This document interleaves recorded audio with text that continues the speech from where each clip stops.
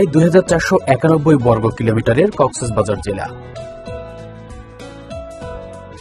জেলাটির উত্তরে চট্টগ্রাম, দক্ষিণে বঙ্গোপসাগর, পূর্বে পার্বত্য বান্দরবন জেলা ও মায়ানমার, পশ্চিমে বিস্তৃত বঙ্গোপসাগর অবস্থিত। পর্যটন নগরী হিসেবে খ্যাত কক্সবাজার সংসদীয় চারটি আসনে বিভক্ত। তন্মধ্যে পেকুয়া ও চকরিয়ার সমন্বয়ে গঠিত কক্সবাজার এক যা সংসদীয় তিনশো চুরানব্বই আসন নামে পরিচিত।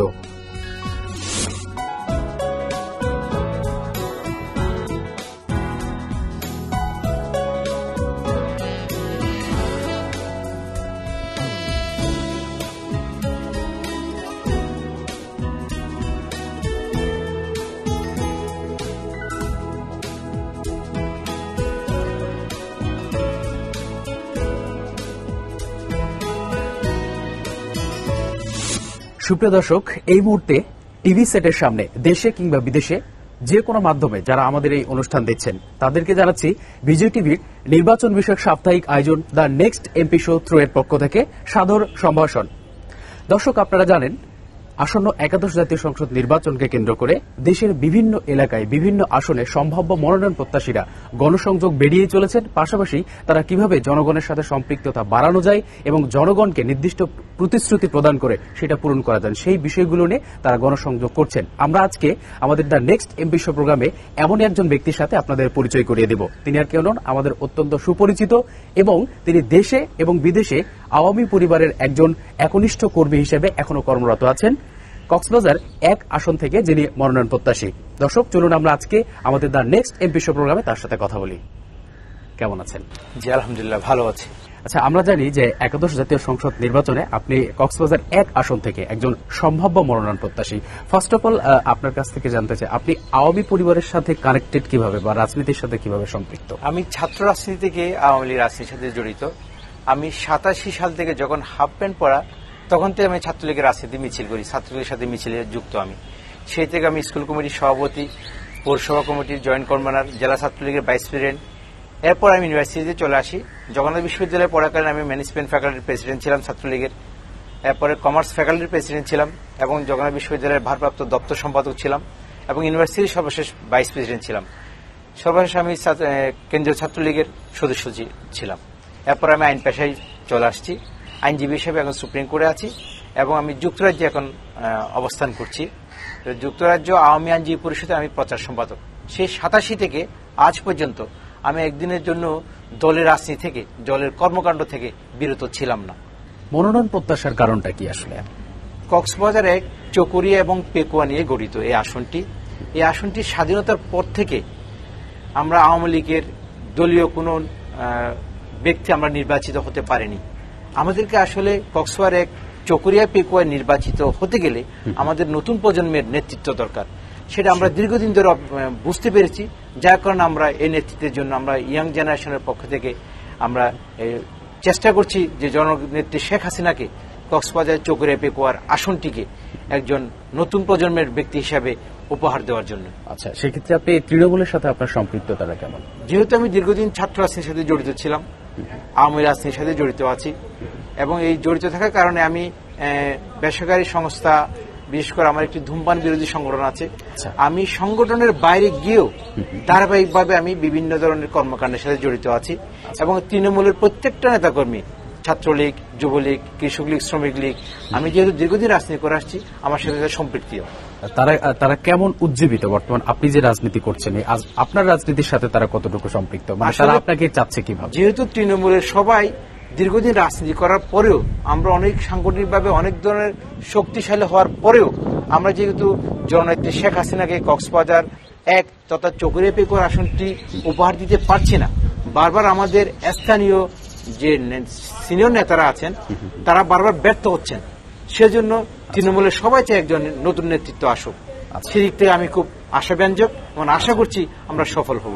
আচ্ছা এক্ষেত্রে তরুণদের উদ্দেশ্যে আপনার বক্তব্যটা কি মানে তাদেরকে নিয়ে আপনার স্পেশাল প্ল্যান পরিকল্পনাটা কেমন? তরুণদের উদ্দেশ্যে আমার বক্তব্য হচ্ছে যে যারা ছাত্রলীগ যুবলীগ কৃষক লীগ শ্রমিক লীগ এবং আওয়ামী লীগ করছে তাদেরকে আমি বলব তারা যদি সুসংগঠিত থাকে আচ্ছা। আমরা ইনশাল্লাহ এবার জননেত্রী শেখ হাসিনাকে আমরা নৌকা উপহার দিতে পারব। কক্সবাজার এক আসন কক্সবাজার এক আসনে। যেহেতু বেশিরভাগ ইউনিয়ন পরিষদের চেয়ারম্যান সবাই ইয়াং এবং আচ্ছা। সমসাময়িক আমার সাথে ছাত্রলীগ করা অথবা আমার জুনিয়র ছাত্রলীগ করাই এখন পুরাটা উনিশটা ইউনিয়নের সবাই চেয়ারম্যান কম বেশি আমার আচ্ছা। বয়সে এবং আমার চেয়ে ছোট। এক্ষেত্রে আমরা জানি যে আপনি দেশের বাইরেও রানিং একটি দায়িত্বে আছেন। আপনার এই দেশের বাইরের দায়িত্ব সম্পর্কে যদি একটু জননেত্রী শেখ হাসিনার অর্জন উন্নয়ন এবং দেশের জন্য যে অক্লান্ত পরিশ্রম করে দেশকে যে অন্যতম একটা উচ্চ মাত্রায় নিয়ে গিয়েছে এটি ইউরোপের বুকে প্রচার এবং প্রকাশনার জন্য আমি যুক্তরাজ্য আওয়ামী আইনজীবী পরিষদের প্রচার সম্পাদক নির্বাচিত হই।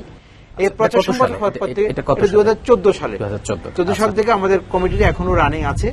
এরপর থেকেই আমাদের আওয়ামী লীগের জনতা শেখ হাসিনা তথা দেশের উন্নয়নের জন্য আমি পুরো ইউরোপ জুড়ে প্রচার প্রচারণার দায়িত্বে আছে এবং সেটা আমি অত্যন্ত পরিশ্রমের মাধ্যমে আমি এটাকে এখনও চালিয়ে যাচ্ছি। আচ্ছা এখন রাজনীতিটা কি বিশেষ করে আপনি সেন্ট্রাল কেন্দ্রিক বেশি করছেন নাকি এলাকার সাথে আপনার সম্পৃক্ততাটা বেশি? আমি এলাকার সাথে এখন সম্পৃক্ত বেশি যেহেতু আমি আইনজীবী আমাকে উচ্চ আদালতে আমাকে প্র্যাকটিস করতে হচ্ছে সেজন্য আমার এলাকায় এবং কেন্দ্র এই দুটো আমাকে অনেক মেনটেন করে চলতে হচ্ছে।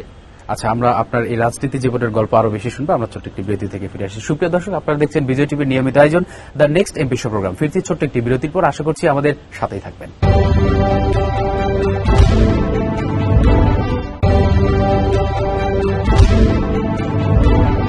ফিরে এলাম বিরতির পর। আপনারা দেখছেন বিজয় টিভির নির্বাচন স্পেশাল অনুষ্ঠান দ্য নেক্সট এমপি শো আমরা কথা বলছি কক্সবাজার এক আসনের একজন সম্ভাব্য মনোনয়ন প্রত্যাশীর সাথে।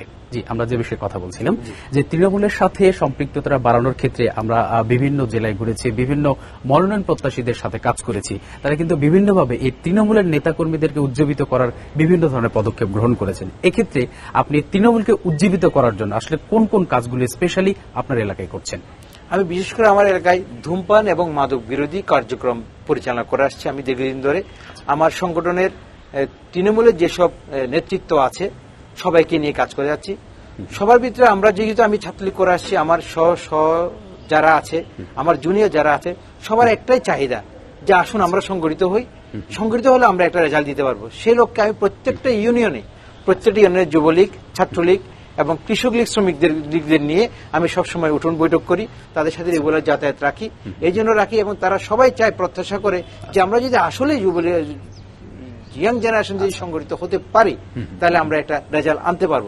সে লক্ষ্যে আমি সবার সাথে ধারাবাহিক আমি প্রতিটি ইউনিয়ন ইউনিয়নে আমি নেতাকর্মীদের সাথে সম্পর্ক বজায় রেখে চলছি। এক্ষেত্রে তরুণদেরকে বিপদগামিতা থেকে ফিরিয়ে আনতে কি কি স্পেশাল পদক্ষেপ নিয়েছে? আমাদের তরুণদেরকে বিপদগামীদের থেকে ফিরে আনতে গেলে আমাদেরকে বিশেষ করে রাজনৈতিকভাবে আরও সচেতন হতে হবে সমাজের প্রতি তাদের আরও বেশি দায়বদ্ধতা থাকতে হবে এবং তাদেরকে বিনোদনমূলক কর্মকাণ্ড এবং শিক্ষামূলক কর্মকাণ্ড এগুলির মাধ্যমে তাদেরকে ফিরে আনা সম্ভব এবং তাদেরকে ফিরে আনার জন্য বিভিন্ন প্রচার মাধ্যম সেমিনার সিম্পোজিয়াম এগুলোর আয়োজন করা আমাদের প্রয়োজন। মানে যেটি আপনি নির্বাচিত হলে করবেন? আমি অলরেডি করে যাচ্ছি।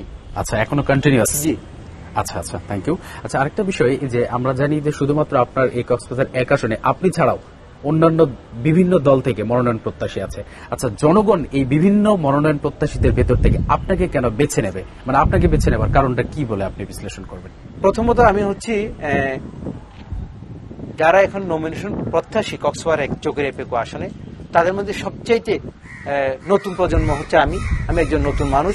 সেজন্য সবাই চাচ্ছে একজন নতুন মানুষের। যেহেতু আমরা স্বাধীনতার পর থেকে কক্সবাজার এক আসনটি জননেত্রী শেখ হাসিনাকে নৌকার প্রতীকে উপহার দিতে পারে নাই।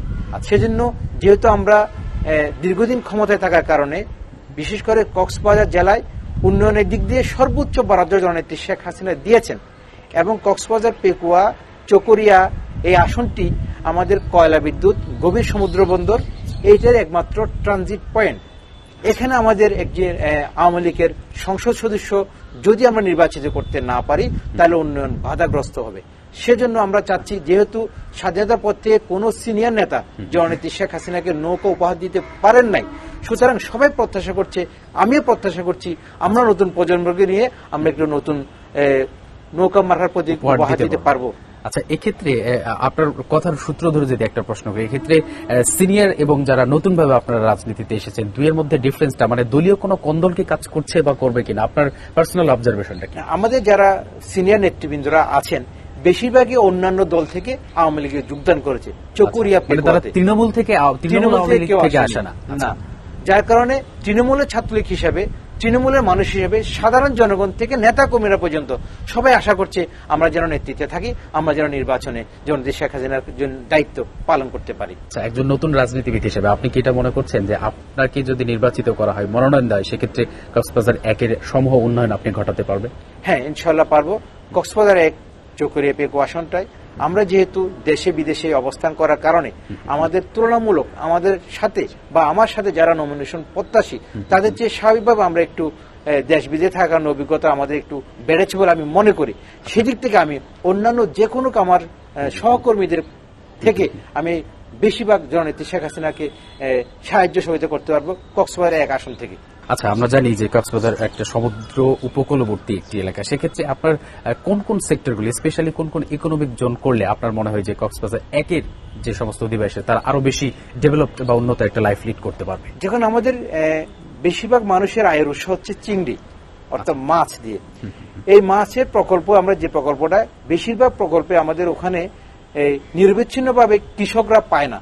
আচ্ছা। তারা বেশিরভাগই যারা ব্যবসায়ী প্রতিষ্ঠিত ব্যবসায়ী এবং ঢাকার ব্যবসায়ীরা কক্সবাজার গিয়ে চিংড়ি চাষ করে থাকে বা চিংড়ি প্লট বরাদ্দ নিয়ে সাধারণ জেলের অধিকারটুকু তারা নিয়ে নেয়। নিয়ে নিয়ে সাধারণ জেলে তারা বর্গা চাষি হিসেবে লাগায়। আচ্ছা। আমি চাচ্ছি ভবিষ্যতে নির্বাচিত হলে ওখানকার যারা তৃণমূলের চাষি তাদেরকে এই চিংড়ি বাজারগুলো বরাদ্দ দেওয়া যাবে হবে। আচ্ছা আচ্ছা। এবং এই বরাদ্দ দিলে সাধারণ মানুষগুলো উপকৃত হবে সবচেয়ে বেশি। মানে স্পেশালি তাহলে এই চিংড়ি চাষ কেন্দ্রিক যে সমস্ত মানে ব্যক্তিরা লাইফ লিড করে আপনি তাদের জন্য এই ধরনের স্টেপসগুলো ইন ফিউচার নেবেন।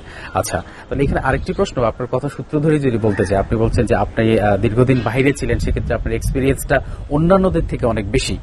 তাহলে এই যুক্তরাষ্ট্র থাকা অবস্থায় আপনি কি কি কাজ করেছিলেন স্পেশালি আওয়ামী লীগের জন্য? যুক্তরাজ্য থাকাকালীন আমি নিয়মিত আমার প্রতি বছর করে আমি একবার করে আমার এলাকায় আসতাম। আমি প্রতি বছর এসে যে বিভিন্ন ধরনের শিক্ষামূলক কার্যক্রম আমি গ্রহণ করেছি। আমার ছাত্রলীগের ছেলেদেরকে পড়ালেখা ছাত্ররাস্তির পাশাপাশি পড়ালেখায় বেশি মনোযোগী দেওয়ার জন্য সবসময় আমি সবাইকে উদ্বুদ্ধ করেছি এবং সেই উদ্বুদ্ধকরণ এখন আমি চালিয়ে যাচ্ছি। বাংলাদেশে অবস্থান করার পর থেকেও আমি চালিয়ে যাচ্ছি। যুক্তরাজ্যে থাকার সময়ও আমি এটা চালিয়ে গিয়েছি। আপনি অন্যান্য এলাকার তুলনায় কক্সবাজার একের উন্নয়নটাকে কীভাবে ভ্যালুয়েশন করবে? করবেন আপনি। এই বিষয়টা আমরা শুনব ছোট্ট একটি বিরতি থেকে। ফিরে সুপ্রিয় দর্শক, আপনারা দেখছেন বিজয় টিভির নিয়মিত আয়োজন। দ্য নেক্সট এমবিএস প্রোগ্রাম ফিরছি ছোট্ট একটি বিজ্ঞাপন বিরতির পর। আশা করছি সাথেই থাকবেন।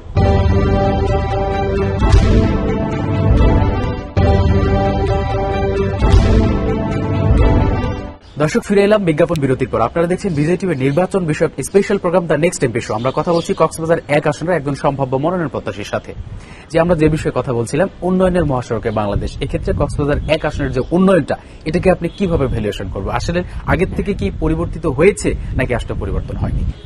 কক্সবাজার পুরা জেলায় বর্তমান আওয়ামী লীগ সরকার যে উন্নয়নের ছোঁয়া লাগিয়েছে, যেটা কক্সবাজারে অতীতে কোনো সরকার সেটা করতে পারে নাই বিশেষ করে আমাদের কক্সবাজার জন্য রেল লাইন দিয়েছেন মাননীয় নেত্রী। আমাদের রেল লাইনের কার্যক্রম চলছে। সেটা চট্টগ্রাম থেকে কক্সবাজার পর্যন্ত এবং আমাদের কক্সবাজার বিমানবন্দরকে ইতিমধ্যে আন্তর্জাতিক বিমানবন্দর উন্নীত করেছেন। কক্সবাজারে একটা আধুনিক মানের স্টেডিয়াম নির্বাচন নির্ধারণ নির- করে তৈরি করেছেন এবং কক্সবাজারের জন্য গভীর সমুদ্র বন্দর এবং কয়লা বিদ্যুতের কার্যক্রম। অলরেডি দ্রুত বেগে কার্যক্রম চলছে। এই লক্ষ্যে আমি বলতে পারি যে কক্সবাজারের যে উন্নয়ন যে আমাদের সাংগঠনিকভাবে যে উন্নয়নের মহাসড়কের কথা বলছে কক্সবাজার উন্নয়নটা তার চেয়ে বেশি দ্রুত বেগে এগিয়ে যাচ্ছে। এবং সেটা যদি সম্ভাব্য আমরা আগামী দু বছরের মধ্যে রেল লাইন সহ শেষ করতে পারি তাহলে কক্সবাজারের আর কোনো সমস্যা থাকবে বলে আমি মনে করি না। সুতরাং কক্সবাজারের টোটাল জনগণকে আমি আহ্বান জানাব যে কক্সবাজারের চারটি আসন কক্সবাজার চকরে পেকুয়া আসন সহ কক্সবাজারের চারটি আসন যদি আমরা জননেত্রী শেখ হাসিনাকে আগামী নির্বাচনে আমরা যদি উপহার দিতে পারি তাহলে কক্সবাজারকে আমি যেটা জেলা পরিষদ নির্বাচনে আমি এলাকাবাসীকে কমিটমেন্ট দিয়েছিলাম যে কক্সবাজারকে প্রাচ্যের সুইজারল্যান্ড বানানো হবে। ইনশাল্লাহ আমরা আশা করব জননেত্রী শেখ হাসিনার নেতৃত্বে আমরা কক্সবাজারকে সুইজারল্যান্ড সেটা যদি আপনি নির্বাচিত হন সেক্ষেত্রে? আমি নির্বাচিত হলে এই সুইজারল্যান্ড বানানোটার গতিটা আর অনেকাংশে বেড়ে যাবে বলে আমি আশা করি। আচ্ছা এক্ষেত্রে যদি আপনাকে প্রশ্ন করা হয় আপনার দল থেকে আপনাকে নমিনেশনটা না দিয়ে অন্য কাউকে যদি নমিনেশনটা দেওয়া হয় সেক্ষেত্রে আপনার অবস্থানটা কোথায় হবে? সহাবস্থানই নাকি বিপরীত অবস্থানে জননেত্রী শেখ হাসিনা যাকে নমিনেশন দিবেন নৌকা প্রতীক নিয়ে আমি যেহেতু তৃণমূল থেকে ছাত্রলীগের কর্মী একজন সেহেতু আমার দায়িত্ব থাকবে যে জননেত্রী শেখ হাসিনার নৌকা আমাদের আদর্শের নৌকা পাবে তার জন্য সর্বাত্মক চেষ্টা করে তাকে বিজয় করা হচ্ছে আমার সাংগঠনিক এবং নৈতিক দায়িত্ব। মানে সেক্ষেত্রে আপনি বলতে যাচ্ছেন আপনার অবস্থানটা তার সপক্ষে হচ্ছে। অবশ্যই সেটা দলীয় হোক অথবা মানে জোটগত থেকে আসে সেক্ষেত্রে একই একই কন্ডিশন একই কন্ডিশন হবে। নেত্রীর সিদ্ধান্ত যেটা হবে আমরা সেটাকে বাস্তবায়ন করার জন্য আমাদের আমি সর্বোচ্চ চেষ্টা করব। আচ্ছা এই এতগুলো আপনার এই যে প্ল্যান প্রোগ্রাম পরিকল্পনা বাস্তবায়ন সুইজারল্যান্ড সমস্ত কিছু পসিবল যখন আপনাকে না কেন্দ্র থেকে গ্রিন সিগন্যাল দেওয়া হবে। এখন এই কেন্দ্র থেকে গ্রিন সিগন্যাল পাওয়ার পক্ষে আপনি কতটুকু প্রত্যাশিত? আমি যতটুকু আমার কর্মকাণ্ড কেন্দ্রে দরকার ছিল আমি এর মধ্যে কর্মকাণ্ড চালিয়ে যাচ্ছি এবং আমরা আইনজীবী সমাজের পক্ষ থেকে আমি আমার কর্ম কর্মকাণ্ড নজরনেত্রী শেখ হাসিনার সুদৃষ্টির জন্য আমি চেষ্টা করছি। যুক্তরাজ্য ভিত্তিক যে আমাদের আওয়ামী লীগের যে কমিটি। তারও আমরা চেষ্টা করছি যে ইয়াং যারা আছে যারা যুক্তরাজ্য থেকে ফেরত এসে এখানে আইন পেশায় নিয়োজিত আছেন তাদেরকে পুরো বাংলাদেশ ব্যাপী একটি রাজনৈতিকভাবে স্টাবলিশ করার জন্য তারাও জননীতি শেখ হাসিনার সাথে ধারাবাহিক কথা চালিয়ে যাচ্ছেন। আমি আশা করি সেটা যে আমরা সফল হই জননীতি শেখ হাসিনার হাতকে শক্তিশালী করার জন্য আমরা পুরো আমি সহ পুরো বাংলাদেশের ইয়াং জেনারেশন বিশাল ভূমিকা রাখব বলে আমি আশা করি। এক্ষেত্রে আপনি মনোনয়ন পাবেন এবং প্রত্যাশিত হয়ে নির্বাচিত হয়ে জনগণের জন্য কাজ করবেন এটাই হবে আমাদের প্রত্যাশা। সর্বশেষ আপনাকে প্রশ্ন করতে চাই আপনার এলাকার শিক্ষার পরিবেশটাকে স্পেশালি চেঞ্জ করার জন্য আপনার স্পেশাল কোনো পদক্ষেপ আছে কিনা? বা আপনার কোনো পার্সোনাল স্টেপস আছে কিনা? আমাদের যে জনসংখ্যা কক্সবাজার পেকুয়া আসনে যে শিক্ষা প্রতিষ্ঠানগুলো আমাদের আছে আমাদের দ্রুত শিক্ষা প্রতিষ্ঠান বৃদ্ধি করা দরকার। আমাদের কলেজের সংখ্যা অনেক কম। আমাদের চোখরে পেকুয়া যেহেতু কক্সবাজার জেলায় সবচেয়ে বেশি জনসংখ্যা অধ্যুষিত একটি এলাকা, ওখানে একটি বিশ্ববিদ্যালয় খুবই প্রয়োজন। আমি আশা করব, আমি যদি নির্বাচিত হতে পারি, আমি ইনশাল্লাহ একটি বিশ্ববিদ্যালয় প্রকল্প বাস্তবায়নের জন্য সর্বোচ্চ চেষ্টা করব, যেন আমাদের শিক্ষার মানটা আরও বেড়ে যায়। যেহেতু আমাদের চোখের কক্সবাজারে বেশিরভাগ মানুষের ব্যবসায়ী মানুষ, আমাদের শিক্ষা দিক দিয়ে আমরা তুলনামূলক অন্যান্য অনেক থানা থেকে কিছুটা পিছিয়ে আছি।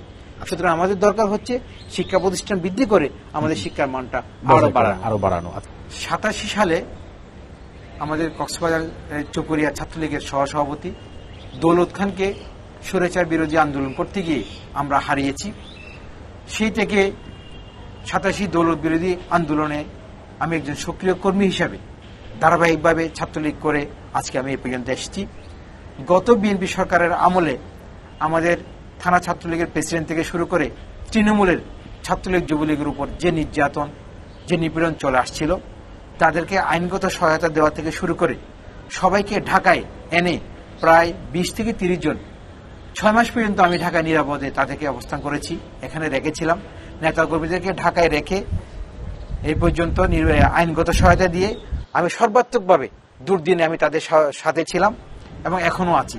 নিশ্চয়ই আমার কক্সবাজার চকরিয়া পেকু আসনের নেতা, তৃণমূল নেতাকর্মীদের মনে থাকবে যে বিএনপির স্বৈর শাসনের সময় আমরা যখন সবাই পালিয়ে চলে আসি এলাকা ছেড়ে, এই ঢাকাতে আমি আমার বাসায় এক প্রকারে ছাত্রলীগের নিবেদিত প্রাণ, যুবলীগের নিবেদিত প্রাণ, ত্যাগী নেতাকর্মীরা যারা পালিয়ে এসেছিল, তাদেরকে প্রায় ছয় মাস ধরে আমি নিরঙ্কুশভাবে আমার বাসায় রেখেছি। আমি একটা নতুন ফ্ল্যাট নিয়ে তাদেরকে ওখানে রেখেছিলাম, তাদের খাওয়া দাওয়ার ব্যবস্থা করেছিলাম। সেই দুদিনের কথা এখন মনে পড়লে আমার আসলে আমার নেতাকর্মী সহ আমাদের এই স্মৃতিগুলো আমরা মনে করতে চাই না। খুবই ট্রেজেডি বিএনপি আমাদেরকে অনেক নির্যাতন নিপীড়ন করেছে। সেই থেকে এখনও আছি, দলের জন্য, কর্মীদের জন্য ছিলাম, থাকব। আশা করি ভবিষ্যতেও এই নেতা কর্মীদের নিয়ে দলের সাধারণ কর্মীদের পাশে থাকব, আমি এটা আশা করি।